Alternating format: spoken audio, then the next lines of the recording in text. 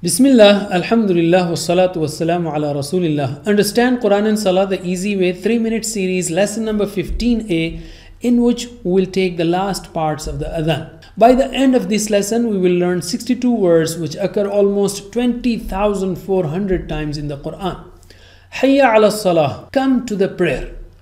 Hayya means come. Hayya ala, it is not come on. In Arabic, when the two join, it means come to. As-salah means prayer. And you know this because prepositions change the meanings according to the verbs. So hayya ala means come to. As-salah, the prayer. Plural of salah is salawat. Hayya ala al-falah, come to the prosperity. Falah means success or prosperity. That is, if you come to salah, you will get prosperity in every direction your faith will become strong, you will get true peace of mind and heart, your wisdom and understanding will grow by listening to the Quran. Your body will benefit also, especially if you wake up for Fajr in the morning at the right time. Your social networking will become stronger. You will get used to working on time. Most importantly, you will get true and everlasting prosperity in the hereafter. A person does not come to Salah thinking that he is doing something that is more beneficial to him. He is like a crazy person who runs in a direction opposite to where his destination is. At the end, we have Allahu Akbar, Allahu Akbar, La ilaha illallah. It's a reminder that we should accept His greatness and come to Salah. And if we don't come, Allah's greatness will always be there. And if we don't come, then our ilah in the sense of one we obey is someone else, maybe our desires.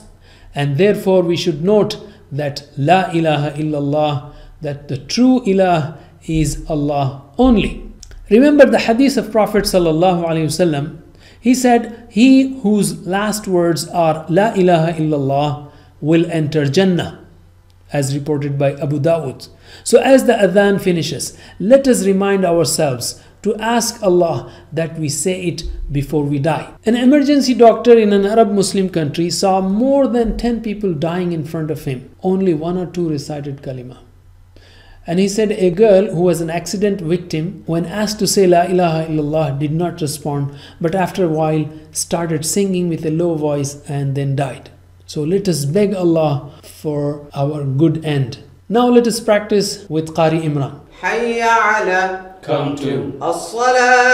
The prayer. Hayya ala salah. Come to the prayer. Hayya ala. Come to. Al-falah. The prosperity. Hayya ala al-falah.